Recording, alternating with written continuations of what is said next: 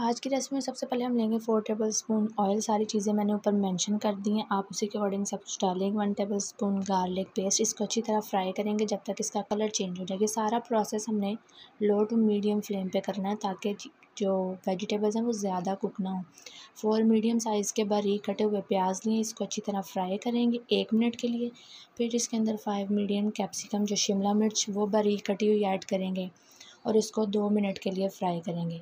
Next इसके अंदर गाजर डालिए, दो कैरेट्स, बारीक चॉप की हुई आप उसको ऐड करेंगे। फिर आप इसके अंदर डालेंगे बंद गोभी, जो कि तीन मीडियम साइज़ की, बिल्कुल बारीक कटी हुई मैंने ली है। इसको चार से पाँच मिनट के लिए फ्राई करेंगे, क्योंकि हम समोसियों का पेस्ट बना रहे हैं तो इसको बहुत ज़्यादा कुक नहीं करेंगे, वरना ये बिल्कुल सालन टाइप बन जाएगा। अब इसके अंदर ऐड करेंगे spices, three tablespoon chilli flakes, ये आप अपने टेस्ट के अकॉर्डिंग ज़्यादा और कम भी कर सकते हैं। फिर इसके अंदर सॉल्ट डालेंगे अकॉर्डिंग टू टेस्ट।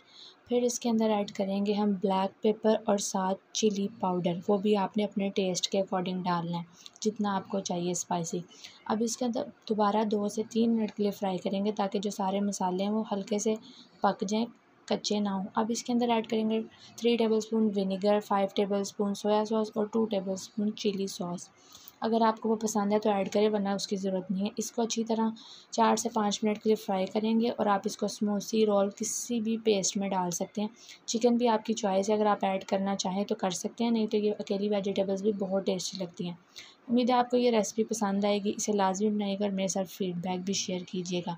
अब लास्ट में मैं इसके अंदर ऐड करूँगी चिली सॉस, ठीक है? गार्लिक चिली सॉस, उसके साथ इसका टेस्ट बहुत ही डिफरेंट और बड़ा टेस्टी लगता है। और लास्ट में मैं इसके अंदर बॉयल मैक्रोनी ऐड करूँगी, वो भी आपकी चॉइस है, अगर आप डालना चाहें तो डाल सकते हैं।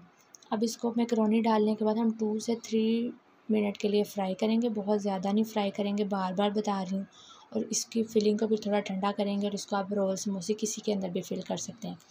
इन होंगे नेक्स्ट वीडियो के साथ, अल्लाह हाफिज़।